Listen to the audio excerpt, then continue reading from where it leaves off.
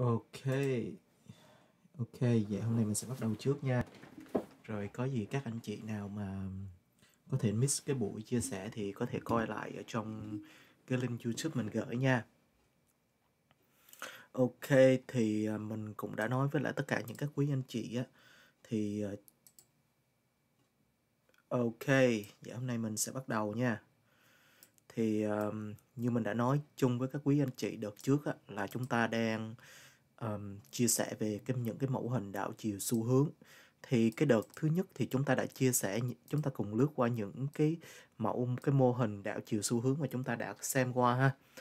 Ok đầu tiên là double bottom double top ha. Đây thì đây là những cái cái mình review sơ lại cái buổi trước ha. Thì như đây là những cái cách vào lệnh của double bottom and double top ha. Đây. Ok và sau đó là triple bottom and triple top ha. Và cũng là những cái cách mình nhìn nhận được um, cái mẫu triple bottom triple top ở trong ở trong những những cái mẫu hình chạc ha. Và thêm một cái đợt nữa à, thêm một cái mẫu hình mà lần trước chúng ta đã xem qua nữa. Đó là cái mẫu hình vai đầu vai ha thì uh, cái vai đầu vai này nó xuất hiện cũng đã rất là nhiều lần ha. Trong những cái bài uh, những cái bài homework trong tuần trước uh, thì mình cũng đã giới thiệu cho các anh chị cái những cái mẫu hình vai đầu vai và mình cố gắng làm nhiều các mẫu hình vai đầu vai để các anh chị có được một cái tầm nhìn kỹ thuật về những cái mẫu hình này ha. Ok. Ok các anh chị chờ một chút xíu nha.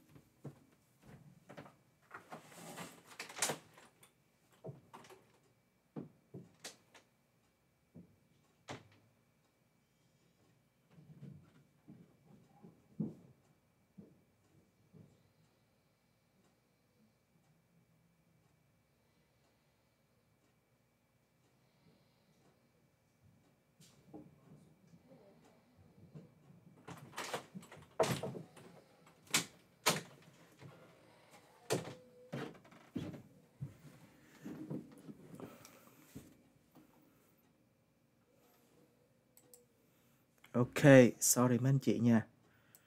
Ồ, oh, thì à, cái mình đang review lại những cái mẫu hình này ha.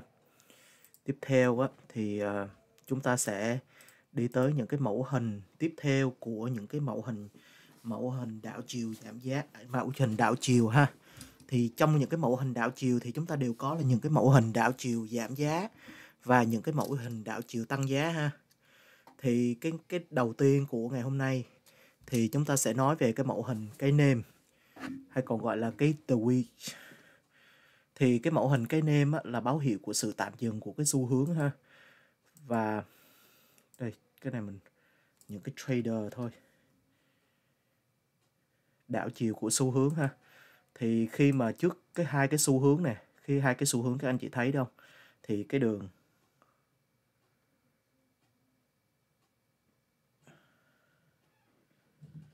Ồ, oh, hai à, hai anh Dũng. Um, cái mã uh, cái bài cách sử dụng option trong uh, day trade and scalping thì uh, có ở trong uh, YouTube nha. Có gì để mình share ở trong uh, cái library nha anh Dũng. Ok, thank you anh Dũng trước ha. Ok, thì cái mẫu hình đó là cái sự tạm dừng của cái xu hướng hiện tại thì các anh chị có thể thấy đây là một cái mẫu hình cái nêm và các anh chị thấy phía trên là một cái gì à? Phía trên này là một cái đường kháng cự phải không ạ? Và cũng là một cái đường trend line. Còn phía dưới này á thì nó cũng là một cái đường support và cũng là một cái đường trend line ha. Và khi hai cái đường kháng cự cái đường kháng cự và cái đường hỗ trợ này có cái xu hướng cái xu hướng lại gần như thế này thì người ta gọi là đó là một cái xu hướng hội tụ. Và khi một cái xu hướng hội tụ á, thì cái diễn biến giá nó bị nén nén ở nơi cái đỉnh như vậy. Thì nó sẽ rất là dễ khả năng xảy ra cái trường hợp đảo chiều thì các anh chị cái tưởng tượng cái mẫu hình cái nêm này á nó giống như là một cái cái cái mẫu mẫu hình giá vậy đó. Khi mà nó nén khi nó nén cái diễn biến giá thì á, bên bò và bên gấu đang có một cái sự giằng co ha. Và vì một cái sự giằng co đó khi nó nó break ra khỏi cái nêm này á thì nó sẽ tạo ra một cái cái độ chạy rất là lớn. Và nhờ những cái độ độ chạy này á thì chúng ta sẽ có được những cái setup để chúng ta trade ha. Đây thì cái nêm á, thì chúng ta sẽ có hai loại hai loại cái nêm. Đó là cái nêm tăng và cái nêm giảm. Thì thường á, thì ờ, sẽ có ba loại cái nêm mà nhưng mà em không có sử dụng một cái nêm trong cái mẫu hình cái nêm đó là cái nêm mở rộng. Nên em không có sử dụng cái mẫu hình đó ha. Thì tạm thời chúng ta sẽ chỉ nói về cái hai cái mẫu hình cái nêm này là cái nêm tăng. Cái nêm tăng là sao ạ? À? cái nêm tăng là trong một cái xu hướng tăng. Các anh chị thấy không?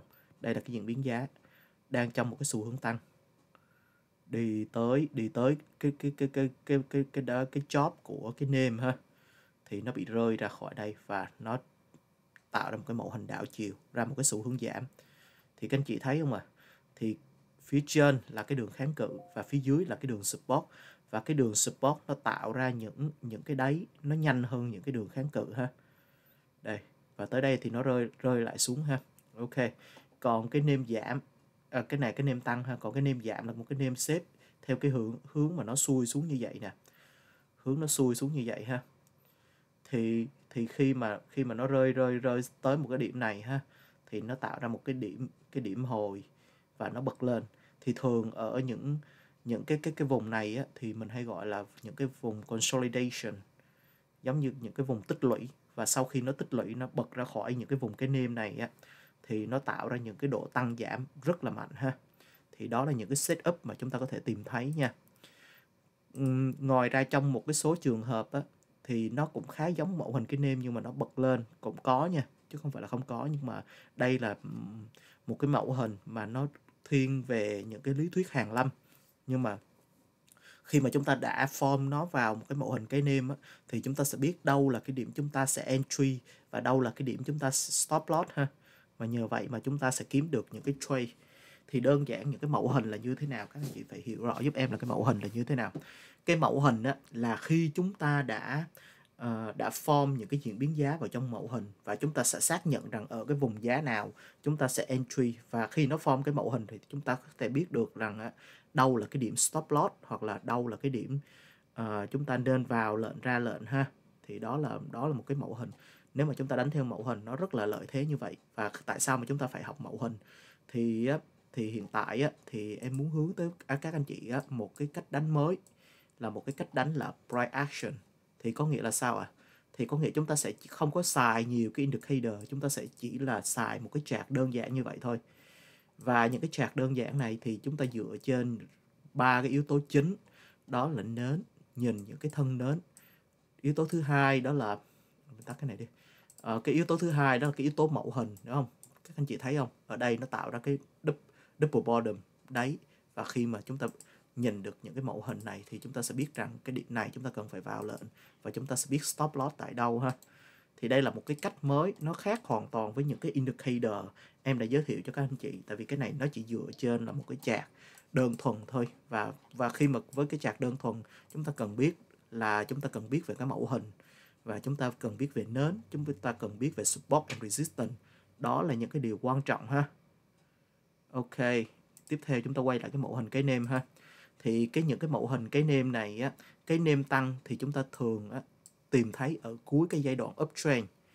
Thì đường kháng cự và đường hỗ trợ này có cái dấu hiệu hội tụ em đã ghi rất rõ ở đây. Cái đường kháng cự đường hỗ trợ đây. Ở dưới này các anh chị phải xác nhận với em đây là đường hội hỗ trợ trendline đúng không ạ? Còn phía trên này là đường kháng cự, đúng không? Nó có cái dấu hiệu hội tụ hội tụ ở đây là như thế nào à? Hội tụ ở đây là như thế này nha mấy anh chị. Hội tụ ở đây thì chúng ta sẽ viết hai cái đường này. Ví dụ cái đường này đường kháng cự ha. Còn cái đường này là cái đường cái đường support ha. Hội tụ là có nghĩa là hai đường này có cái xu hướng cắt vào nhau nha. Cắt vào nhau, ha. Còn nếu mà cái diễn biến giá nó sẽ đi như vậy ha. Đây, diễn biến giá nó sẽ đi như vậy. Đi dòng lên tới đây, dòng lên tới đây tới đây ha và cái mẫu hình cái nêm thường khi mà tùy cái độ dốc nó sẽ rơi ra khỏi đây ha.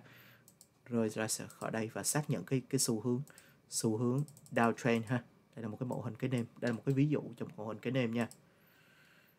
Ok còn cái mẫu hình cái nêm giảm thì sao ạ? À? cái mẫu hình cái nêm giảm thì chúng ta sẽ biết ở cuối cái giai đoạn downtrend. Thì thường á, thì cũng cũng giống như mẫu hình cái nêm tăng thì cái mẫu hình cái nêm giảm á, thì là cái đường support and resist, uh, ờ, resistance cũng có cái dấu hiệu hội tụ. Và cái vùng mà cái vùng cái vùng cái nêm này nó thể hiện là như thế nào ạ? À? nó thể hiện rằng á là cái xu hướng nó đang ờ, consolidation nó đang có cái giai đoạn tích lũy tích lũy để có một cái bước có một cái có một cái bước nhảy lớn. Và nhờ những cái bước nhảy đó thì chúng ta sẽ bắt được những cái lệnh ha. Đây cũng cũng có rất là nhiều cái mẫu hình đây. Để mình ví tìm một cái ví dụ mẫu hình cái nêm cho các anh chị hình dung ha đây. Mẫu hình. Thì khi mà các, các anh chị nhìn được cái mẫu hình cái nêm thì nó nó nó nó cũng khá là nó cũng khá là tương đối nha mấy anh chị. Chẳng hạn ở đây giống một cái nêm. Không nó di chuyển lên di chuyển xuống và tới đây nó sẽ có một cái độ bật và sau khi nó bật lên thì nó tiếp tục đi lên ha. Đây. Hoặc là đây cũng cũng là một cái mẫu hình cái nêm ha. Nó phải có một cái độ tương đối ở này chúng ta phải sau khi bật lên thì nó đi lên ha. Chúng ta sẽ biết được cái điểm vào lệnh ha. Rồi, ok. Bây giờ mình sẽ đưa qua những cái trà khác để mình tìm thử xem là những cái mẫu hình, cái nêm thì nó, cái hình dạng nó như thế nào ha. Ok.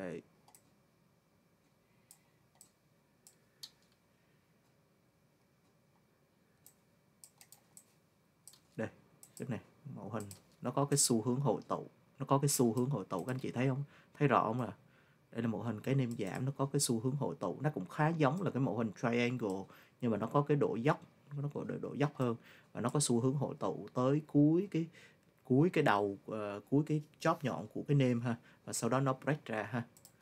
Thì thường á, khi chúng ta tìm những cái điểm mà để break mà tìm những cái điểm mà break mạnh á, thì chúng ta sẽ nhìn vào những cái cuối những cái nêm này. Thì thường á, khi mà nó thoát khỏi cái nêm này nó break lên hoặc break xuống rất là mạnh nha. Ok bây giờ mình thì nhìn nhìn lướt qua đó là ha. Ok vậy thì với cái mẫu hình cái nêm thì chúng ta sẽ giao dịch như thế nào ha? Thì với cái mẫu hình cái nêm tăng ở trong cuối một cái xu hướng à, cuối một cái xu hướng tăng ha thì chúng ta sẽ như thế nào? Chúng ta sẽ tìm cái lệnh short phải không ạ?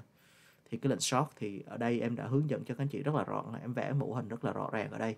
Thì chúng ta sẽ kẻ được hai cái đường đó là cái đường support và cái đường resistance tại đây và chúng ta sẽ vào lệnh khi mà cái diễn biến giá ở đây em em ghi là cái short entry nha. Tại vì cái này á, là cái mẫu hình cái nêm tăng nên là cái short entry thì chúng ta sẽ biết được cái short entry là khi cái diễn biến giá break ra khỏi cái nêm bắt đầu break rơi ra khỏi cái vùng cái vùng support thì người ta gọi là uh, kiểu đánh này là kiểu cái kiểu đánh mình đánh kiểu breakout nha.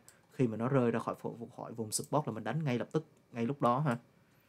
Thì để em tìm kiếm những cái lợi cái lợi này rơi chỗ nào mà cái nêm tăng để mình ví dụ cho nó đơn giản ha. Khi mà các anh chị à, đã học cái mẫu hình đó thì em cũng à, khuyến khích các anh chị là nên coi nhiều chạc. Đôi lúc á, đôi lúc khi mình coi nhiều chạc mình có một cái feeling nó chính xác hơn là là mình cứ xài những cái indicator nhiều. Em cũng là một cái người không có xài indicator nhiều nha mấy anh chị. Cũng có nhiều cũng có nhiều lúc em xài nhưng mà cũng có nhiều lúc em cũng không có xài nhiều đa phần mình đánh theo ờ, theo những cái uh, những cái mẫu hình thì nó cũng tốt tại vì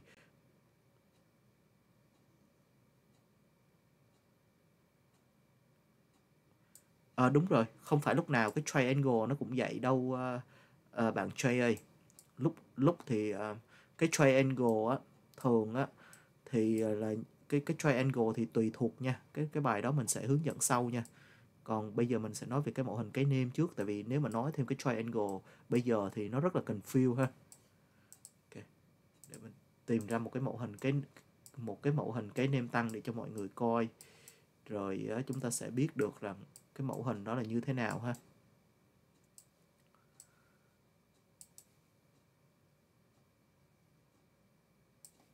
Đây, thường là chúng ta nó sẽ tìm kiếm ở cuối một cái xu hướng, cuối một cái xu hướng tăng như vậy nè. Đây. Đây, nó cũng nó cũng hơi tương đối thôi, chứ nó không có thực được là cái sự chính xác cho lắm. Nhưng mà cái này nó cũng là một cái mẫu hình, cái nêm, mặc dù trên này nó nó break ra, ok. Vậy bây giờ chúng ta, nếu mà chúng ta đã bắt được một cái mẫu hình cái nêm như vậy á, thì khi mà chúng ta, đây, tùy theo cái độ dốc nha, thường cái mẫu hình mẫu hình cái nêm á chơi thì cái độ dốc á thì nó thường nó có cái độ dốc như vậy nè. Còn cái mẫu hình triangle thì nó có độ dốc như vậy.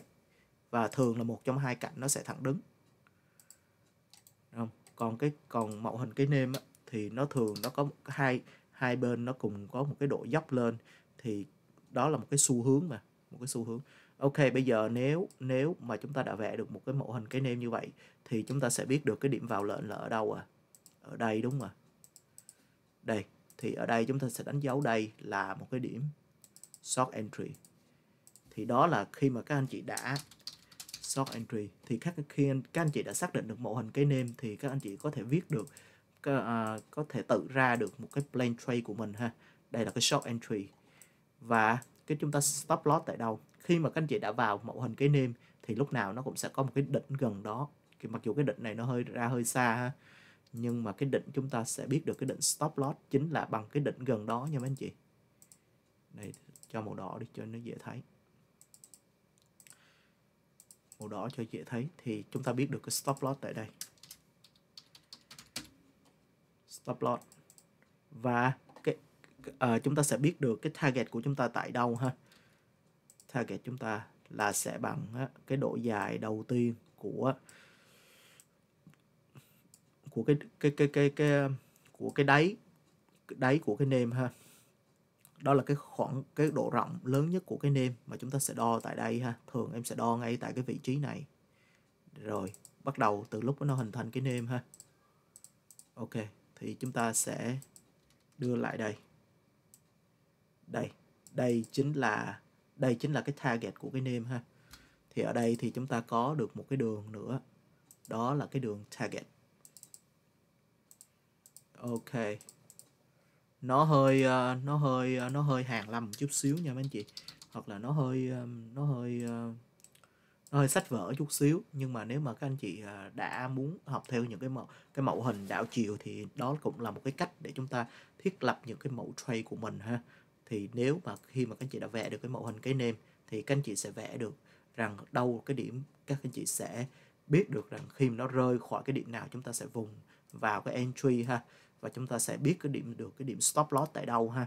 Và chúng ta sẽ biết được cái target tại đâu. Ok, bây giờ như vậy, bây giờ chúng ta sẽ tiếp tục mở ra cái short position xem rằng cái cái trade này chúng ta sẽ như thế nào là hợp lý. Ok, để target tại đây and để stop loss tại đây. Tỷ lệ như thế nào à? Tỷ lệ 2 2.51 vậy là ok chưa các anh chị? Ok, vậy là đây là một cái tỷ lệ hợp lý phải không anh chị? Có nghĩa là mình reward high và mình stop loss một ha. Thì đây là một cái một một cái ví dụ, em làm một cái ví dụ cho các anh chị về một cái mẫu hình. Đó là cái mẫu hình cái nêm tăng ha. Các anh chị có thấy rõ mà đây là cái mẫu hình em vẽ ra cho con chị dễ mường tượng đây. Cái cách cái cách mình cái cách mình tính cái target là mình tính từ cái điểm này vào luôn. Tùy vào cái độ dốc nha. Nếu mà cái mẫu mẫu hình cái nêm này thoi thỏi như vậy, chúng ta có thể chờ cái điểm. Chẳng hạn giống như vậy nè.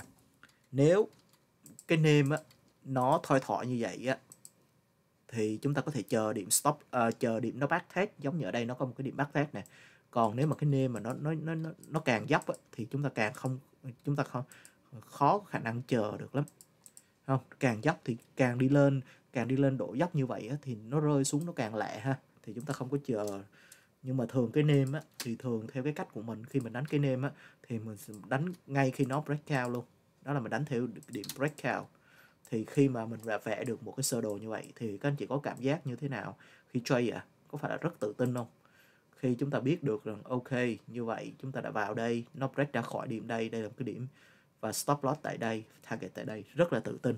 Chúng ta không có phải dựa depend trên bất kỳ ai để nói là, ok khi nào người ta nói mình mới ra hoặc là khi nào người ta nói mình mới vào. Tại vì còn nếu mà các chị đã xong những cái bài, những cái mẫu hình này, các chị đã tự vẽ được những cái điểm entry stop loss target.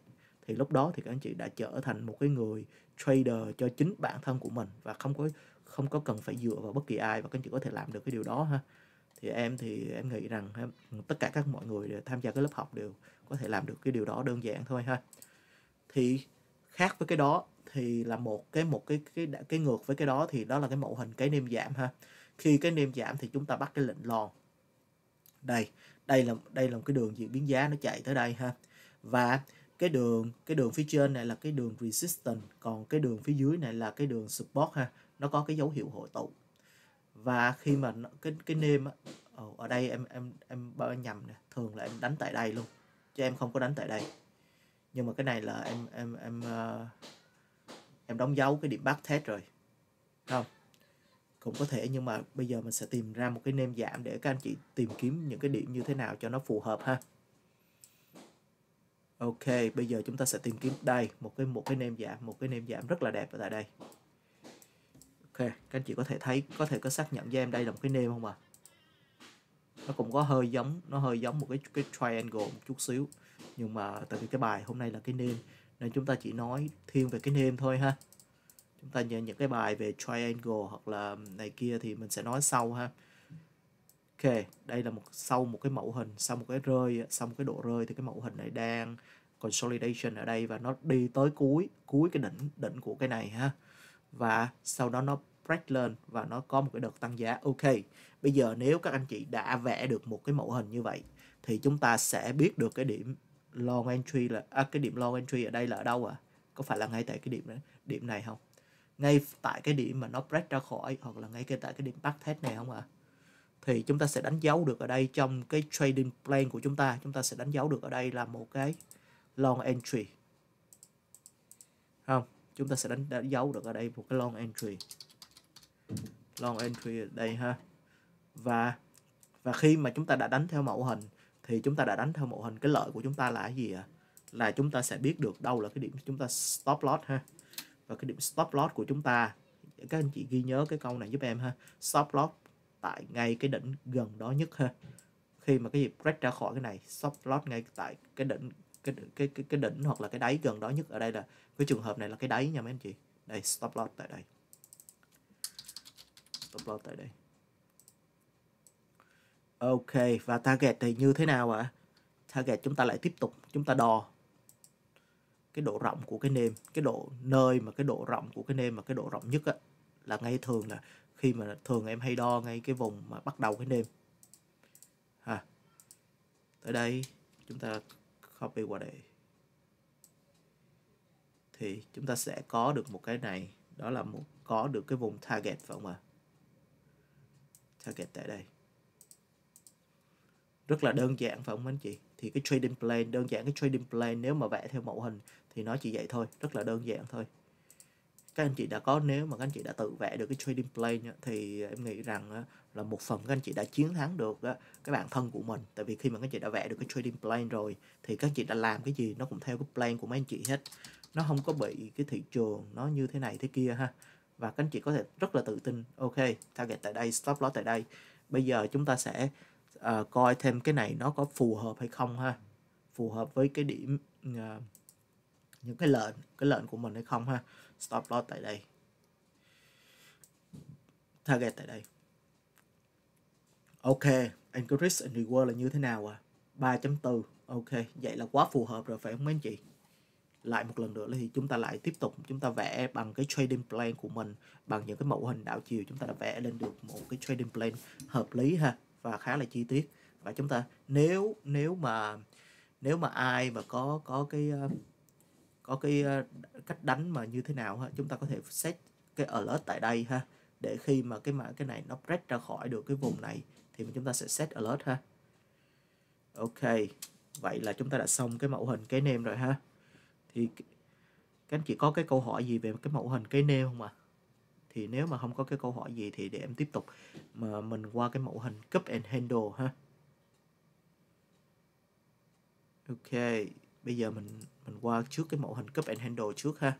Rồi các anh chị nào có cái câu hỏi gì thì các các anh chị có thể hỏi ở dưới ha. Ok, cái mẫu hình cup and handle á, thì thường á, cái mẫu hình này nó giống như là một cái cup và một cái cái handle. Bây giờ em sẽ vẽ một cái mẫu hình như vậy các anh chị có thể thấy nè. Đây, một cái đường vòng lớn tại đây và một cái đường vòng nhỏ ở đây. Thì các anh chị thấy cái này là cái gì ạ? À? Này giống như là cái phần thân cấp đây là cái cấp và đây là cái handle. Và nếu mà các anh chị đã trade nhiều hoặc là các anh chị đã coi qua rất là nhiều các uh, sách vở về trade á, thì hoặc là coi qua những cái bài những cái bài mà trading plan của tất cả những mọi người á thì có thể cái cái cái định nghĩa cup and handle á thì nó cũng không có còn quá xa lạ với anh chị ha. Thì cái cup and handle thì nó sẽ biểu trưng là một cái phần lớn là cái vòng tròn lớn là một cái cup và một cái cái cái cái phần vòng tròn nhỏ là một cái handle ha. Thì khi mà cái này á, nó rơi xuống cái vùng giá này và nó bị từ chối tại đây ha và nó quay lại cái vùng support and resistance nó tạo ra thêm một cái tạo ra thêm một cái đường đường vòng nữa một cái cái rounding nữa thì á, cái cái cái lực nó không có còn giống như trước nữa và đây cũng khi mà nó hoàn thành cái mẫu hình cup and handle này, thì chứng tỏ rằng cái thị trường nó đang có dấu hiệu giảm nhiệt. Và giống như là nếu mà cái thị trường đó đang ở trong cái xu hướng bullish, thì cũng cái bên bullish không còn đủ sức để tiếp tục đẩy cái giá này lên cao nữa. Hoặc là nếu mà nó ở bên bearish, thì bên bear không có còn đủ sức để đẩy cái giá này xuống nữa ha. Ok, đó là cái mẫu hình cup and handle. Và nó cũng là, nó cũng mang một cái ý nghĩa cái mẫu hình đảo chiều ha. Hôm nay chúng ta sẽ tập trung vào những cái mẫu hình đảo chiều thôi. Thì đôi khi có những cái mẫu hình cup and handle nó vẫn fail bình thường ha. Nhưng mà thường chúng ta sẽ, chúng ta sẽ nói về cái mẫu hình đảo chiều ngày hôm nay thôi ha. Ok, và thì cái cup and handle thì nó cũng có hai dạng giống như tất cả những cái mẫu hình đảo chiều. Thì thường những cái mẫu hình đảo chiều thì chúng ta tìm thấy ở đâu? Chúng ta tìm thấy ở những ở những cái cuối, những cái giai đoạn uptrend và downtrend khi mà các bạn tập trung vào những cái cái mẫu hình đảo chiều thì có nghĩa là các bạn đang tập trung vào bắt đáy và bắt định ha. Và giống như là đó là gọi là mình sẽ mà step ahead một bước so với lại ờ, thị trường đó. Chứ không phải là mình ờ, mình mình như thế nào ha. Có thể là khi mà cái thị trường đó mình mình sẽ biết được biết được cái thị trường là như thế nào. Ok thường á, là cái này là cái cup and handle ngược, đảo ngược ha. Và cái cup and handle, đảo ngược á, chúng ta sẽ tìm thấy ở đâu ạ? À? chúng ta sẽ tìm thấy ở cuối những cái giai đoạn uptrend. Và những cái diễn biến giá nó tạo tạo handle cũng, diễn biến giá tạo handle tạo ra cái đỉnh mới nè. Các anh chị thấy không? Cái đỉnh mới này thấp hơn cái đỉnh cũ của cái phần cấp ha. Và và cái này nó tạo ra một cái mẫu hình cup and handle khi mà nó tạo ra một cái cái handle nhỏ như vậy thì chứng tỏ cái cái momentum của cái cái đường cái diễn biến phía trước đó đã không có còn nhiều nữa. Ok còn cái này là cái cup and handle ha. Thì chúng ta sẽ tìm thấy nó ở cuối những cái giai đoạn downtrend oh, sorry. Thì cái diễn biến giá nó cũng tạo một cái đáy mới. Thấp hơn chứ cái này à, cao hơn đúng rồi. Tạo một cái đáy mới cao hơn cái cái đáy cũ của cái phần cấp thì nó tạo ra một như vậy thì chứng tỏ rằng cái uh, cái xu hướng bearish của lúc trước đó, nó đã không có còn nhiều nữa để, để để để tiếp tục đẩy cái giá đi xuống nữa. Nhưng mà chúng ta bắt đầu nhìn về cái cup and handle một chút xíu ha. Thì cái cup and handle thì nó giống như cái gì à nó thực sự á, thì những cái mẫu hình á, thì nó cũng là một cái sự ờ, một một cái sự biến thể của những những cái chung những cái chung nhất. Và những cái chung nhất là cái gì? Là những cái cái cái đỉnh sau cao hơn đỉnh trước và những cái đáy sau cao hơn đáy trước. Ok ví dụ ha. Đây nó nó có phải là khi mà khi mà các anh chị uh, khi một cái mã đi vào một cái xu hướng downtrend thì các anh chị phải xác nhận rằng nó lần lượt nó tạo một cái gì à? Nó lần lượt nó tạo ra những cái đáy sau nó thấp hơn cái đáy trước và những cái uh, những cái đỉnh sau thấp hơn cái đỉnh trước, nó liên tục nó tạo như vậy, nó mới xác nhận ra một cái cái downtrend đúng mà. Thì cái cup and handle này cũng vậy thôi. Thì khi mà cái cái handle này nó nó rơi xuống khỏi cái vùng neckline ở đây mình gọi cái đường này, cái đường neckline ha, thì nó đã xác nhận rằng nó sẽ tạo ra một cái đáy mới thấp thấp hơn cái đáy trước đó tại cái phần này ha. Đúng không? Hoặc là cái chỗ này nó sẽ tạo ra một cái đỉnh mới thấp hơn, cao hơn cái đỉnh trước đó ha thì thực sự cup and handle hay là bất kỳ cái mẫu hình gì đều xuất phát từ cái phần um, cái nguyên lý chính. Đó là cái nguyên lý uh, đỉnh đáy của cái price action nha mấy anh chị. Ok bây giờ bắt đầu chúng ta sẽ nhìn về cái cách mà chúng ta sẽ giao dịch với cái mẫu hình cup and handle ngược ha. Thì cái cup and handle ngược này thì nó ở cuối cái giai đoạn uptrend. Khi uptrend nó tạo ra một cái cái rounding rounding top như vậy. Và tiếp tục nó tới đây, nó take cái vùng neckline nó tiếp tục nó tạo ra một cái rounding top như vậy ha. Thì chúng ta sẽ có hai cái short entry. Thì có hai cái điểm entry thì giống như tất cả những cái điểm mà em đã nói với mấy anh chị rồi. Chúng ta có có entry thứ nhất là khi cái mẫu hình, cái diễn biến giá, cái diễn biến giá nó break ra khỏi cái vùng neckline ha, thì chúng ta có cái short entry thứ nhất tại đây. Và cái short entry thứ hai là khi cái diễn biến giá nó có cái sự retake cái đường neckline và cái đường neckline này á là ngày trước á, là nó là một cái đường support của của cái cup and handle đúng không ạ? Nhưng mà sau khi nó bị break ra thì theo cái định lý ờ, uh, polarity thì cái đường cái đường support cũ này nó đã trở thành cái đường resistance mới. Thì nó quay lại đây nó bắt thét cái đường resistance mới và tiếp tục nó rơi tiếp ha. Thì thì cái target ở đây á, thì ở đây cái mẫu hình cup and handle chúng ta sẽ có hai cái target cái target đầu tiên là cái độ rộng của cái kích. Đây, target thứ target thứ nhất. Oh cái này target thứ hai chứ. Còn cái target đầu tiên là cái độ rộng của cái handle. Thì đây, cái độ rộng của handle là cái target đầu tiên. Cái độ rộng của cái cúp là cái target thứ hai. Thường cái độ rộng của cái cúp ít khi nào nó nó chạm tới lắm, nhưng mà nó chạm tới thì cũng có thôi, không có sao hết. Đây, cho này em đã lưu ý lại cho các anh chị nè. Diễn biến ha. Đây. Sau cái buổi hôm nay thì em sẽ gửi lại uh, gửi lại cái mẫu tài liệu cho tất cả hết tất cả các anh chị ha. Rồi các anh chị có thể coi được. Và sau khi các anh chị có thể coi lại và các anh chị có thể so sánh với mẫu hình chạc rồi các anh chị tự tìm hiểu tự tìm thêm những cái mẫu hình cup and handle trong những cái chạc thực tế ha. Ok bây giờ mình sẽ bắt đầu mình đi tìm cái cup and handle như thế nào ha. Thì thường nó ồ sao máy đứng rồi ta?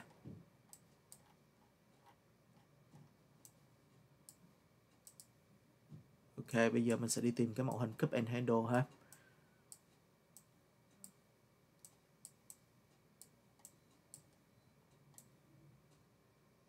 Cup and handle.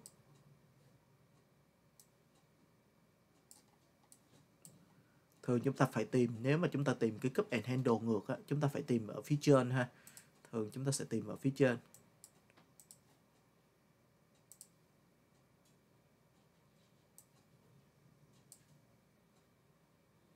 Đây đây đây. Nó cũng khá giống với lại cái cup and handle này chúng ta sẽ bắt đầu tìm. Thì có một phần thì mình hướng dẫn các anh chị một phần nhưng mà các anh chị cũng cố gắng uh, khi mà các anh chị làm cái gì thì cố cố gắng các các anh chị tự coi chạc ha để tìm những cái mẫu hình. Ok đây là một cái mẫu hình cup and handle. Đây. Thì cái chuyện mà khi mà mình hướng dẫn các anh chị rồi á khi mà các anh chị về coi á rồi sau này các anh chị cứ luyện tập luyện tập dần dần á rồi đôi lúc có nhiều anh chị thậm chí bây giờ à, bản thân của mình chia sẻ với nhiều anh chị nhưng mà mình cũng biết rằng ở trong group có rất là nhiều các anh chị giỏi hơn mình rất là nhiều. Mình rất là respect cái điều đó tại vì các anh chị giỏi hơn mình các anh chị vẫn dành thời gian để tiếp tục luyện tập. Thì thì có các anh chị cố gắng ha. Sau những cái buổi như thế này thì uh, anh chị cố gắng tìm những cái điểm hoặc là mở chạc lên coi ha. Rồi từ đó mình sẽ cố gắng luyện tập ha. Thì ừ, mỗi người đều có một cái nhiều người người ta có một cái cái cái thiên bẩm. Đôi khi người người này ừ, trước, mình chia sẻ trước nhưng mà đôi lúc có anh chị sau có thể giỏi hơn mình rất là nhiều, tùy thuộc vào cái thời gian mình spend cho đó thôi ha. Ok, đây các anh chị có phải xác nhận với em đây là một cái cup and handle không à đây là cuối cái cái diễn biến tăng giá sau một cái đợt tăng giá rất là mạnh nè. TTD nè, đang tạo ra một cái cup and handle như vậy, một cái mẫu hình cup and handle rất là rõ ràng, đúng không ạ? Có giống không ạ đây, cup and handle. Thì thường không phải là cái cái cup cái cup lúc nào á, đôi đôi lúc mà cái cup and handle nó khó nhìn là sao? Tại vì á, đôi lúc nó đi vòng đi vòng đi vòng như vậy nè, nhưng mà các anh chị có mường tượng ra các anh chị vẽ, thì nó vẫn nằm trong cái đường cái đường khơ này thôi nó nằm vẫn nằm trong cái đường rounding này thôi ha. Nhưng mà cái handle nó cũng vậy ha đôi lúc nó hơi khó nhìn chút xíu. Các chị có thể click vào đây để các chị vẽ cái đường curve rồi à, rồi các chị có thể kéo lên kéo xuống tùy ý ha. Ok bây giờ khi mình vẽ được cái cup and handle như vậy á thì chúng ta sẽ uh, biết được những cái điểm nào chúng ta vào lệnh nè. Chúng ta sẽ vào cái lệnh short tại đây khi khi nó break ra khỏi cái vùng resistance phải không ạ? Đây à, cái vùng support cái cái vùng đây là cái cái vùng support cũ ha. Nó support cho cái diễn biến giá nhưng mà sau khi nó break ra thì cái đường này nó trở thành một cái đường resistance mới ha. Thì cái đường resistance mình đánh dấu màu đỏ. Ok. Và có một cái điểm điểm thứ hai điểm long entry thứ hai là khi cái giá nó retest các anh chị thấy rõ ràng ở đây không? Cái giá nó đi xuống đây. Nó lên đây nó retest tại đây ha. Và nó bị bị reject ngay tại cái vùng resistance mới ha. Wow, cái mẫu hình cup and handle này quá đẹp ha. Nó giống như là máy chứ không phải là máy trade chứ không phải là người nữa ha.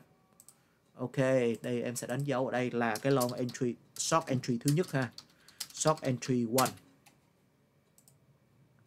Đây short entry one là khi nó break ra khỏi cái vùng. Ok, còn cái short entry two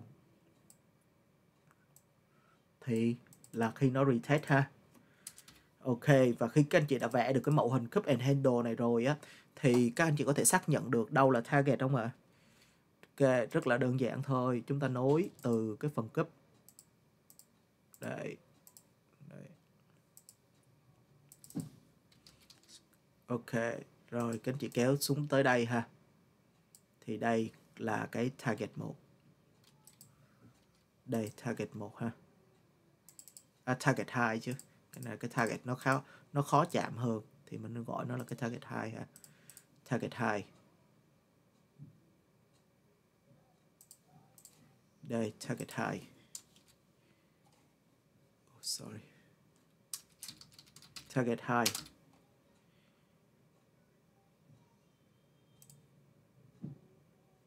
Ok, target 2 ở đây ha. Và cái target 1 ở đâu à? Target 1 chúng ta lại một lần nữa chúng ta nối từ cái này tới đây ha.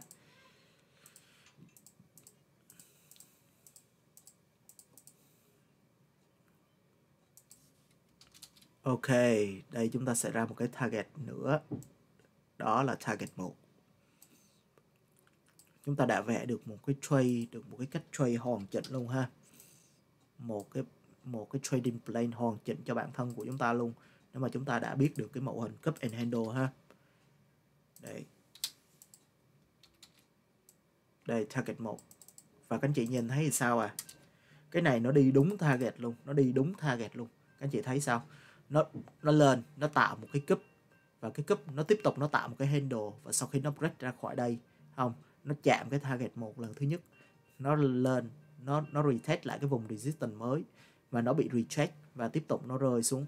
Nó tới cái target một nó nó lên chút xíu. Và sau đó nó rơi xuống và nó rơi. Và tới cái điểm mà nó dừng lại là ngay cái target hai luôn. Wow. Một cái uh, giống như là trong uh, sách giáo khoa ha. Đây các anh chị uh, có thấy rõ mà chúng ta đã vẽ được cái trading plan này rất là rõ ràng phải không anh chị? Và cái stop loss ok bây giờ cái stop loss là như thế nào? Cái stop loss á, thường á, thì cái này nó không có một nó thường khi mà chúng ta vẽ cái stop loss thì em có thể vẽ cái uh, đây cái này là short. Ok có thể để tại đây và stop loss ngay tại đây ha. Hoặc là chúng ta có thể stop loss theo cái tỷ lệ một hai. Hạ cái này xuống slot theo tỷ lệ một hai. Nếu mà các anh chị short đây thì các anh chị sẽ biết được rằng khi nào các anh chị nên nên stop loss và cái trade nó đang không đi đúng cái dự dự báo của anh chị ha. Thì anh chị đưa vào đây. Không? Một cái trade, một cái trading plan hoàn chỉnh, các anh chị có thể thấy không? Một cái trading plan hoàn chỉnh khi các anh chị vẽ ra đưa cho người ta thì giống như là các anh chị thấy rằng, ok, đây là một cái trading plan hoàn chỉnh short tại đây, stop loss tại đây và tới cái target này mình sẽ scale out một chút xíu để cho nó chạy tới target này rồi mình mình thoát hết ra ha. Rất là đơn giản phải không anh chị? Đây, đó là với cái mà, cái mẫu hình cup and handle ngược. Còn cái mẫu hình cup and handle ha, thì cái đó nó ngược với lại cái này thôi. Nó, chúng ta cũng sẽ tạo ra một cái đáy lớn hơn và có một, tạo ra một cái đáy nhỏ hơn giống như cái cup and handle ha. Thì chúng ta chúng ta giao dịch là như thế nào? Chúng ta cũng sẽ có hai cái điểm điểm entry là khi nó break ra khỏi cái vùng neckline là cái điểm entry thứ nhất và khi nó break ra khỏi cái vùng net nó retake cái vùng neckline thì cái điểm entry thứ hai tại đây ha Ok, bây giờ chúng ta đã vẽ xong cái này rồi, bây giờ chúng ta tiếp tục chúng ta sẽ tìm chúng ta sẽ tìm một cái cup and handle sao cho nó hợp lý tiếp ha. Cái này ờ, khi mà các bạn các anh chị học mẫu hình các anh chị cố gắng giúp em ha. Là cứ về rồi mình coi những cái mẫu hình mình giống như lướt lướt vậy nè. Rồi mình coi xem những cái mẫu hình nào cảm thấy nó phù hợp. Rồi mình uh, mình vẽ ra ha. Mình vẽ ra. Tại vì uh, khi chúng ta càng vẽ ra càng nhiều á thì trong những cái trường hợp á nó uh, trong những cái trường hợp đó, nó nó có thể tạo ra được, được nó form đúng cái mẫu hình đó thì chúng ta đi theo cái mẫu hình thì nó rất là hay ha. Ok đây chúng em đã em đã nhìn thấy một cái cup and handle một chút xíu mà nhưng mà nó hơi nó không có rõ chút xíu là cái chỗ này đây. Đây nó không có rõ một chút xíu. Nhưng mà ok nó không có rõ chút xíu nhưng mà nó xác định nó nó đầy đủ các điều kiện của mình đưa ra ha. Ở cuối cái ở đang cái đà uh, giảm giá ha tạo ra cup and handle và tăng giá ha. Cái này cái này hơi xấu để anh tìm cái khác nó đẹp hơn để các anh chị dễ hình dung hơn. Đây đây các anh chị có thể thấy ở đây nó dễ hình dung hơn không à? Đây. Cup and handle ở đây dễ hình dung hơn ha. Thì đôi đôi lúc mình chia sẻ ờ, em chia sẻ thì em phải tìm cái chỗ nào nó dễ hình dung hơn cho mấy anh chị. Chứ nếu mà chia sẻ mà tìm những cái chỗ nó xấu quá thì mấy anh chị cũng không có hình dung nổi. Đó là em em rút kinh nghiệm từ bản thân của em luôn ha ok các anh chị có thể có thể có thể thấy được cái cái này. Bây giờ các anh chị có nhìn thấy được cái nó là cái, cái cup and handle không à? Đây cái cup em vẽ cái cup ở đây. Không? Cup. Và đây là cái handle ha? Handle. Và đây chúng ta vẽ được một cái đường neckline. Ok thì cái mặc dù cái này nó không có đi đi cái đường rao tròn nha nhưng mà nó cũng đi theo trong cái form của cái rao tròn thì mình có thể vỏ vẽ cái đường khơ như vậy để mình xác nhận rằng đây là một cái pattern là cup and handle ha. Ok nếu mà các anh chị đã các, các anh chị đã quyết định đây là một cái cup and handle bây giờ các anh chị cứ tưởng tượng là là em là các anh chị ha. Ừ, bây giờ rồi tất cả mọi người tưởng tượng rằng mình đang làm cái trading plan cho ngày mai của mình ha. Bây giờ mình sẽ khi mà mình thấy cái cup and handle ở cuối cái downtrend bây giờ xác nhận nha. Oh ok nó đang cuối cái downtrend nó take cái vùng neckline này một lần rồi nó tới đây ha hiện tại nó đang ở đây. Ok vậy thì cái trading plan của mình sẽ như thế nào? Ok here we go. Bây giờ chúng ta sẽ xác nhận rằng đâu là cái vùng chúng ta sẽ vào lệnh nha. Ok có phải là các anh chị sẽ vào lệnh tại đây không ạ? À? là đây là cái long à, cái long entry thứ nhất tại đây. Đây là khi như thế nào à khi cái diễn biến giá nó break ra khỏi cái đường neckline các anh chị có thấy rõ không à nó rất là rõ ràng luôn nha. Ok và tiếp theo là như thế nào à? Tiếp theo cái long entry thứ hai là như thế nào? Khi cái diễn biến giá nó retest đúng không? Các anh chị có thể, thể thấy nó rất là rõ không? Nó tới đây. Nó nó đi một vòng tới đây tới đây. Nó break ra khỏi cái vùng headline và nó retest và retest á cái retest nó tới lúc nào? Nó tới ngay cái vụ chỗ cái vùng neckline nó bật lên. Các anh chị có thấy rõ mà nó không có một cái gì đó là ngẫu nhiên luôn nha. Nó rất là rõ ràng ở tại đây. Cup and handle rất là rõ các chị có thể tìm tìm kiếm cho riêng những mẫu mình ha. Ha nhưng mà cái này là mình tìm trong cái mẫu Band American cup and handle rất là rõ ràng. Bây giờ mình sẽ đánh dấu nè. Mình sẽ đánh dấu. Các anh chị đừng có đừng có suy nghĩ rằng mình đang uh, coi một cái buổi chia sẻ. Các anh chị cứ nghĩ là uh, mình đang uh, làm cái trading plan cho chính mình ha. Trading plan cho chính mình ha. Ok long entry one. Long entry one. Đó là khi chúng ta break ra khỏi cái vùng uh, cái vùng uh, netline ha ok, và cái long entry thứ hai là như thế nào ạ? À? cái long entry 2 long entry 2 thì ngay cái vùng giá retest các anh chị thấy không? Cái chỗ này nó retest quá đẹp không? Nếu mà chúng ta không có học pattern thì chúng ta sẽ không bao giờ chúng ta nhìn ra những cái mẫu hình như vậy để chúng ta nhìn thấy những cái cơ hội, đúng không? Và khi mà chúng ta đã học pattern rồi, chúng ta biết rằng, ok, tới đó thì chắc chắn nó sẽ dừng tại đó ha. Ok, thì bây giờ chúng ta sẽ biết target không ạ? Nếu mà nếu mà chúng ta nếu mà chúng ta đang làm cái trading plan với mình ha thì chúng ta sẽ tìm target tại đâu? Ok đầu tiên target đầu tiên.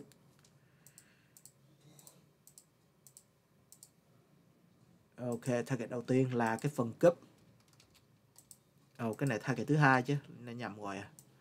Target thứ hai là phần cấp ok. À, target đầu tiên target mà dễ chạm tới nhất đó là cái phần handle ha. Ok như vậy chúng ta sẽ đã có được cái hai cái target đúng mấy anh chị? Đây. Đây hai cái target tại đây.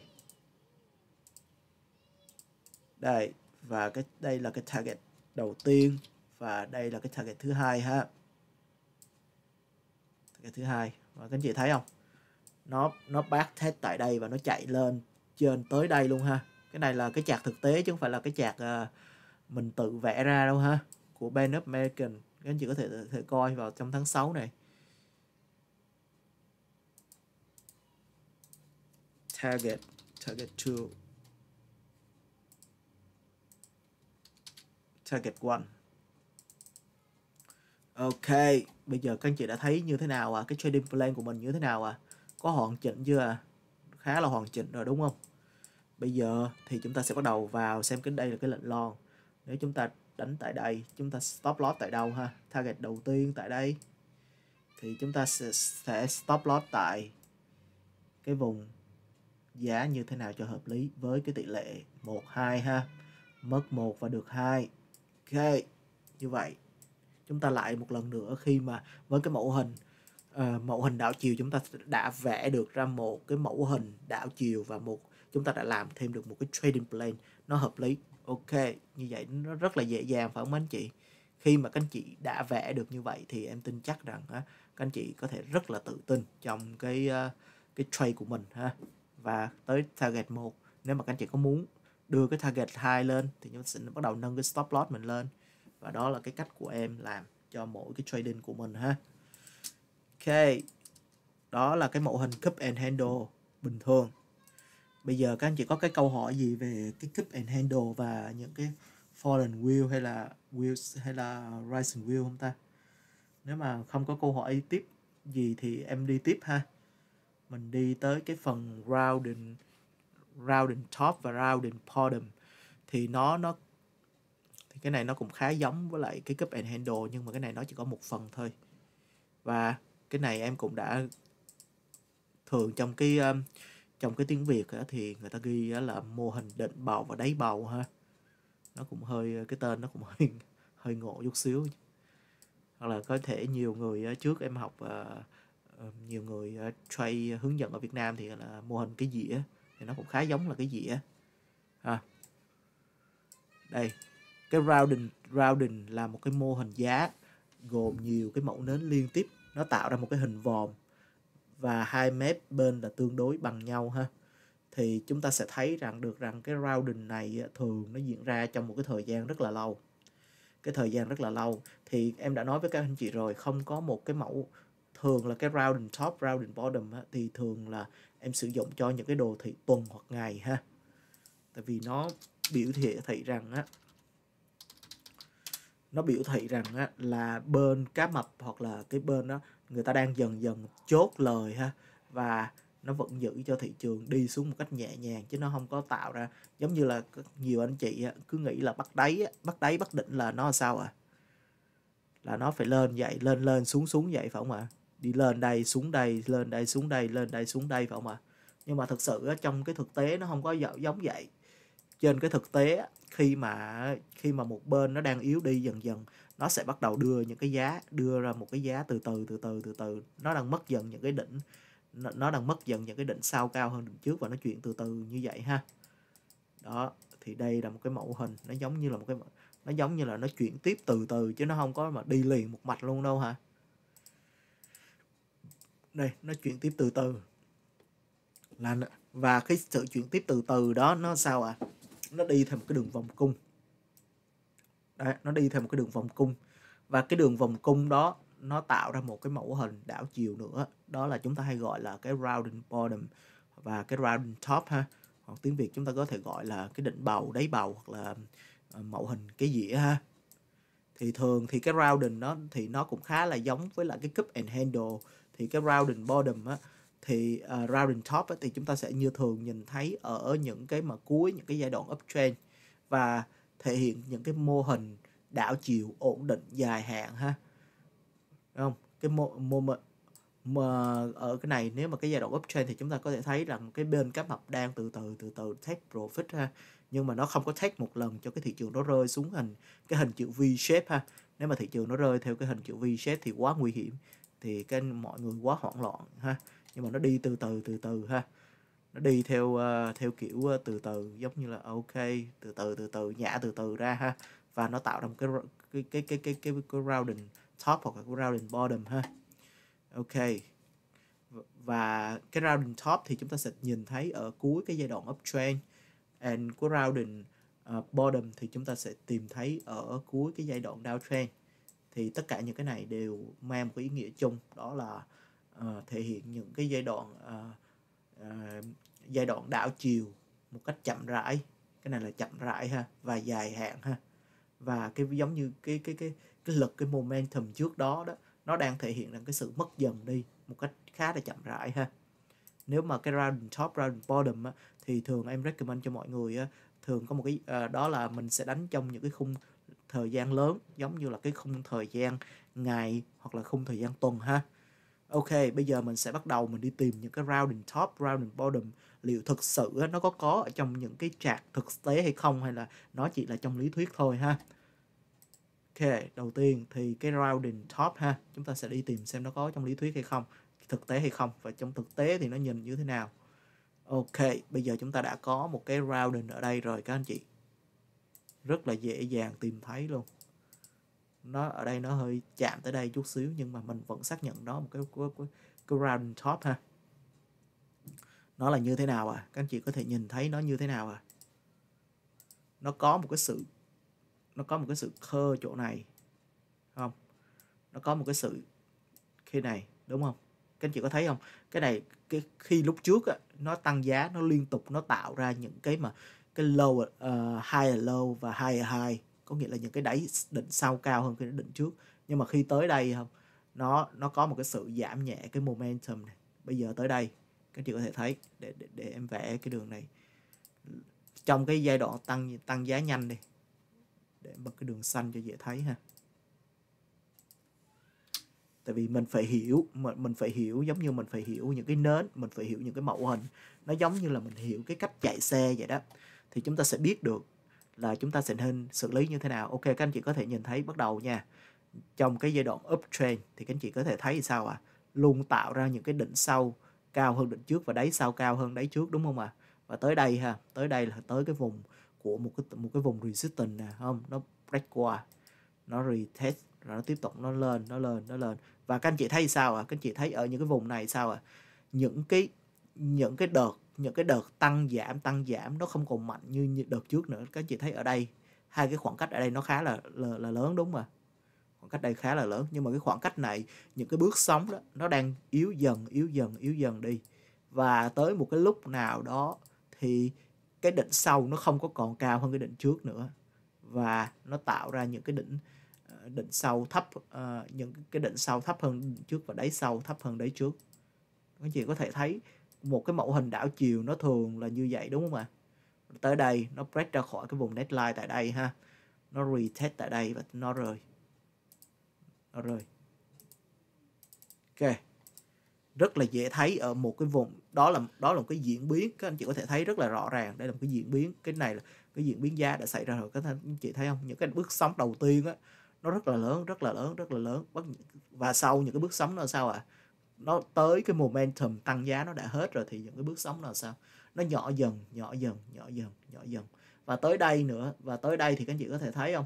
Những cái đỉnh, cái đáy sau, những cái đỉnh sau nó không còn có sức để mình đẩy lên để cao hơn những cái đỉnh trước nữa. Thì tới lúc này á, nó bắt đầu rơi nó rơi nhẹ. Và khi nó rơi nhẹ, nó break ra khỏi cái vùng neckline thì các anh chị thấy sao à nó rơi xuống một mặt và cái momentum downtrend nó đột ngột, mạnh lên ha và nó rơi với những cái bước sóng rất là dài. Ok để thấy không? Rất là rõ nha mấy anh chị. Chứ nó không có nó cái này là là là, là chạc thực tế nha. Ok vậy với khi chúng ta đã bắt được những cái đợt sóng ờ, uh, rounding top rounding uh, ờ, rounding top như vậy thì chúng ta sẽ cái cách xử lý của chúng ta sẽ vào cái lệnh như thế nào à ok cái lệnh chúng ta sẽ đi vào vào như thế này ạ. À.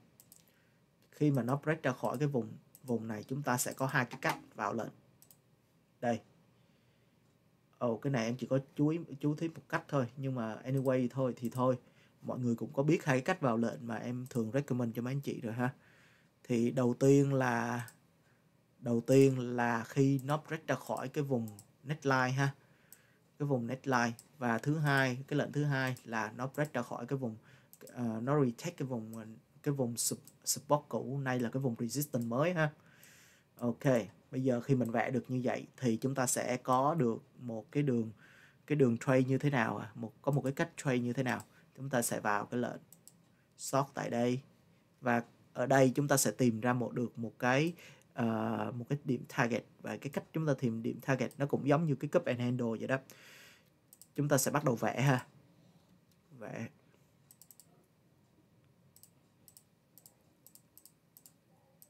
Đúng không? Cái độ dài của của của cái cái cái cái cái cái rounding top này ha chúng ta sẽ bắt nối qua đây. Và chúng ta sẽ bắt được cái này giống như cái này cái này, cái này là một cái vùng target. Đây ok chưa? Ok chúng ta đã biết được cái target là ở đây thì chúng ta sẽ có thể tiếp tục kéo kéo tại đây ha.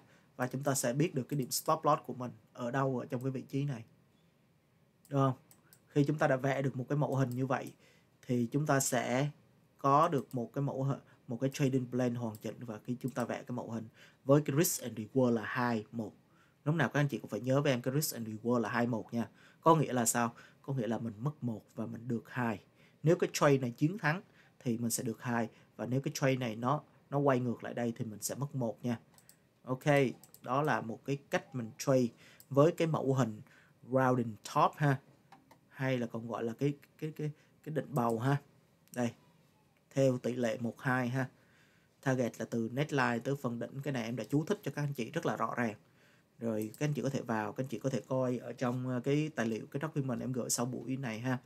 Và cái cái cái, cái rounding bottom thì như thế nào à cái rounding bottom nó cũng sẽ giống như vậy thôi. Cái rounding bottom ha chúng ta sẽ đi tìm kiếm ở đâu à chúng ta sẽ tìm kiếm ở cuối những cái đường cuối những cái downtrend cuối những cái downtrend khi mà cái momentum downtrend nó giảm rồi đó. Thì nó sẽ xuất hiện một cái đợt đẩy từ từ từ từ lên ha. Mình qua mặt khác đi ha.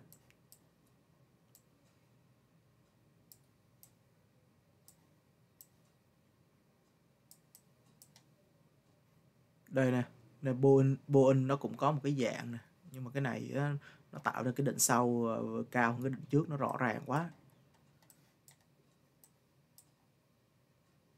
Đây, có thể ở đây ha. Nhưng mà cái này nó bị fail khúc này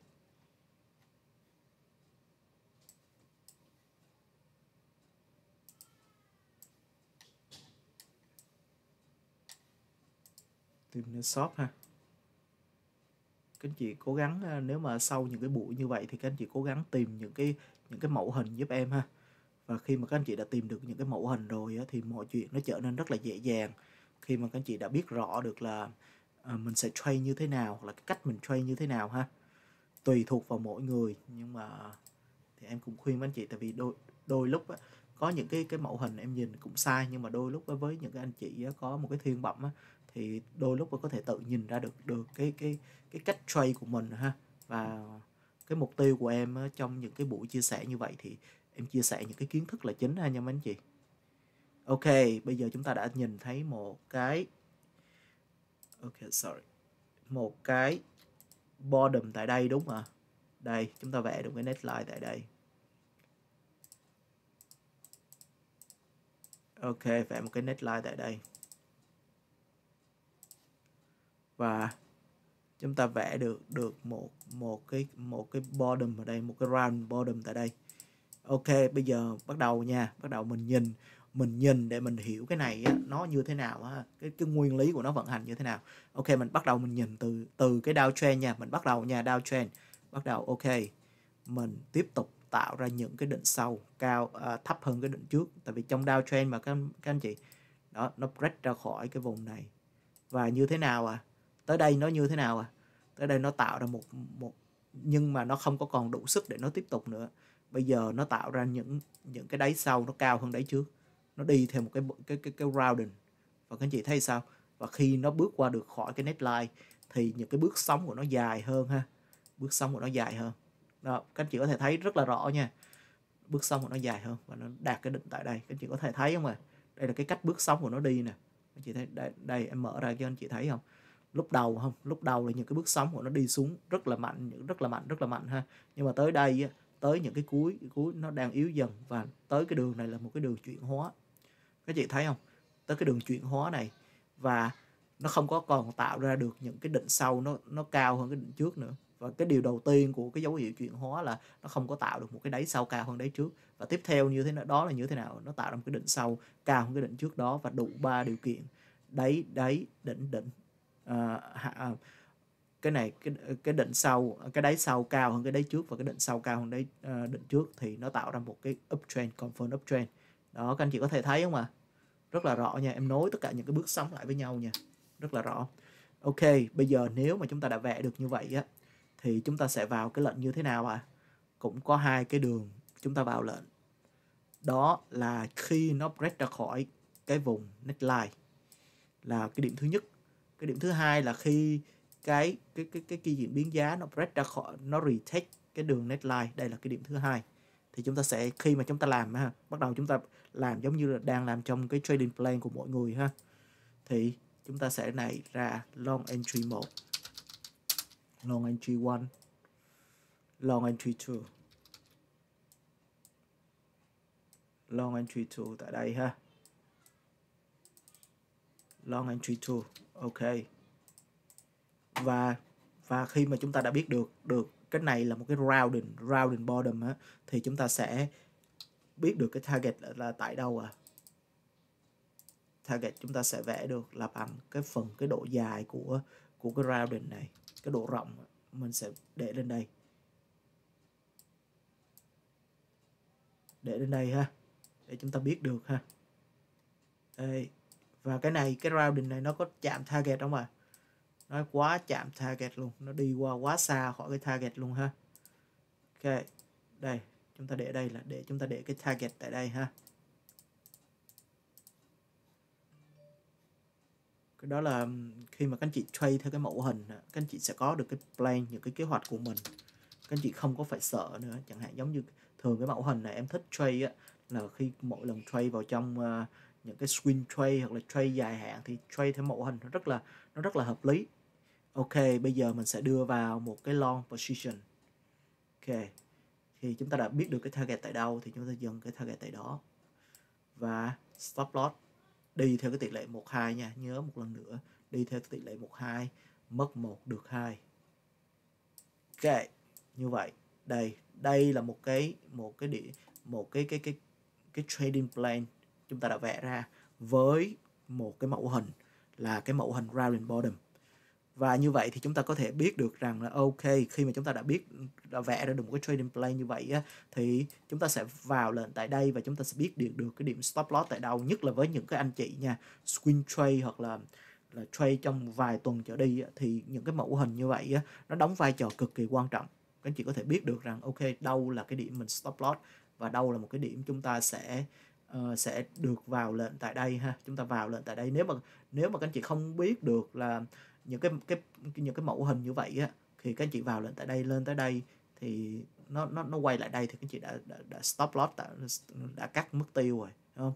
Nhưng mà khi mà chúng ta đã biết được cái mẫu hình như vậy thì ngay từ cái đoạn này chúng ta sẽ vào cái lệnh tại đây hoặc là chúng ta sẽ chờ đợi. Khi mà tới đây á, nhiều anh chị FOMO có phải chạy tới đây đúng không? Chạy tới đây nhiều thì đó, nếu mà chúng ta biết được cái mẫu hình, chúng ta sẽ tránh trường hợp nào à? Trường hợp chẳng hạn giống như nó break ra đây mà tới đây rồi, các anh chị nghĩ ok, bây giờ phải vô cho rồi, chứ kiểu nhà chết. FOMO vô tại đây. FOMO vô tại đây, nó rơi tới đây, bandit kết lót tại đây. Cuối cùng nó đi theo cái đúng đúng cái ý các anh chị mong muốn, đúng không ạ? Thì khi mà chúng ta vẽ được cái mẫu hình thì chúng ta biết rằng khi mà nó lên tới đây thì kiểu gì nó cũng sẽ có một cái đợt back test tại đây. Nó sẽ có một cái đợt retest và nhờ những cái đợt retest đó thì chúng ta mới tạo chúng ta có thể vào lệnh nó cũng không muộn.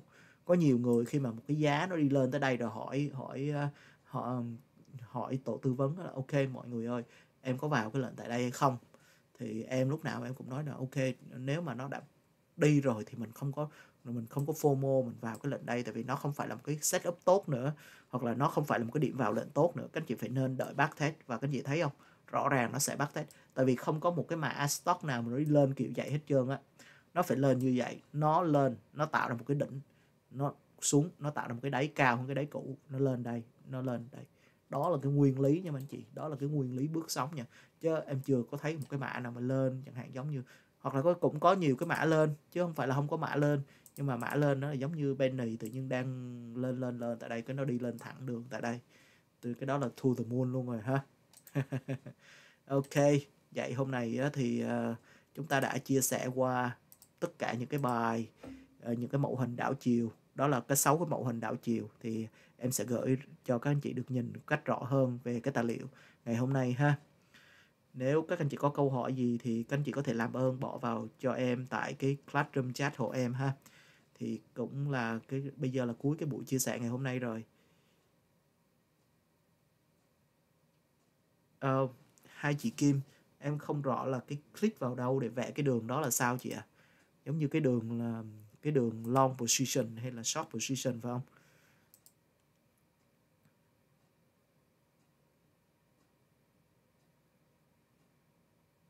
ok để em tắt uh, cái uh,